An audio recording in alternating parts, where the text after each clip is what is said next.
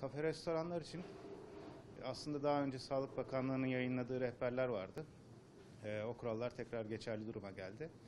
Sabah 7, akşam 19 saatleri arasında açık olabilecekler. Ee, 19-21 arası gel al hizmeti şeklinde e, hizmet verebilecekler. Alışveriş merkezleri içerisinde bulunanlar da alışveriş merkezi yönetiminin e, izni doğrultusunda bunu yapabilecekler. E, 21-24 saatleri arasında da paket servise devam edebilecekler. E, alışveriş merkezlerinde kapılarda, giriş kapılarında HES kodu sorgulaması ve ateş ölçümü yapılıyor.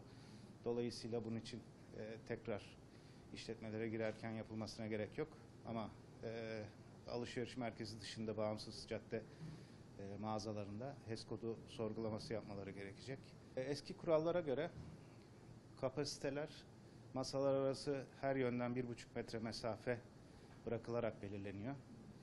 E, masalarda karşılıklı veya çapraz oturulması gerekiyor. 70 santimden küçük masalarda mutlaka çapraz oturuluyor. Yan oturmaya izin verilmiyor.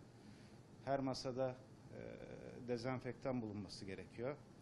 Çatal, kaşık veya tuz, biber gibi şeyler paket şeklinde veriliyor. Tek kullanımlık, kişiye özel. E, bu şartlar sağlandıktan sonra ka- kafe restoranın kapasitesi belirlenmiş oluyor. Bunu da girişe yazmaları gerekiyor. Bunun üstünde e, kimseyi kabul etmemeleri gerekiyor. Yani Kasım ortasından itibaren yaklaşık 3,5 aydır kısıtlamalı şekilde gidiyor. Alışveriş merkezleri e, aynı zamanda sosyal sosyalleşme alanları ülkemizde özellikle.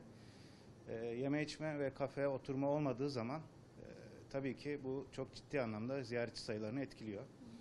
Sadece acil ihtiyaçlarını alıp insanlar çıkıyorlar. E, vakit geçiremiyorlar alışveriş merkezinde. Bunun kontrollü bir şekilde yapılabiliyor olması e, büyük bir şey, e, geri dönüş olacak, katkı sağlayacak tabii ki. E, Cumartesi günleri açılması çok önemli alışveriş merkezleri için. E, Çünkü hafta içi zaten saat 20'de kapanıyor. 21'den sonra sokağa çıkma yasağı var. Dolayısıyla e, cumartesi günleri ciddi anlamda bir hareket olacaktır. Yavaş yavaş hazırlıklar tamam. Kafe, restoranlar tahmin ediyorum bu hafta tamamı e, hazırlıklarını bitirirler. Hazırlıklarımız aslında devam ediyor.